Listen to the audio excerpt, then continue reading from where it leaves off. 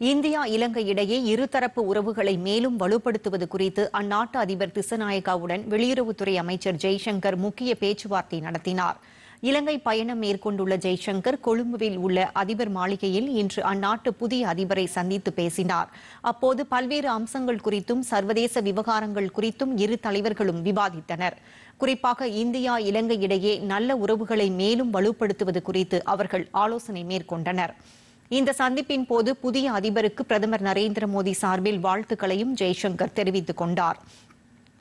இந்த சந்திப்பு குறித்து தனது எக்ஸ் வலைதள பதிவில் கருத்து வெளியிட்டுள்ள ஜெய்சங்கர் இந்திய குடியரசுத் தலைவர் மற்றும் பிரதமர் ஆகியோரின் வாழ்த்துக்களை தாம் இலங்கை அதிபருக்கு தெரிவித்ததாகவும் இந்தியா இலங்கை இடையே உறவுகளை வலுப்படுத்துவது குறித்து ஆலோசனை மேற்கொண்டதாகவும் தெரிவித்துள்ளார்.